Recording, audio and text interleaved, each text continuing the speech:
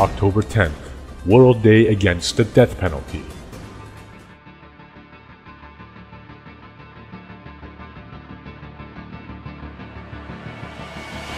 Stop executions in Iran. Iran has the highest executions per capita in the world.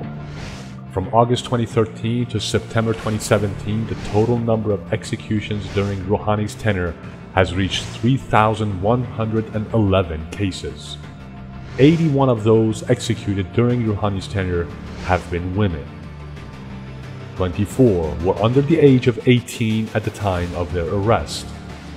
Nevertheless, the true figures are definitely higher as most executions in Iran are carried out in secret.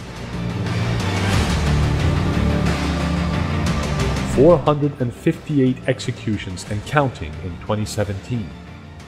This includes 8 women and 3 juveniles at the time of their arrest.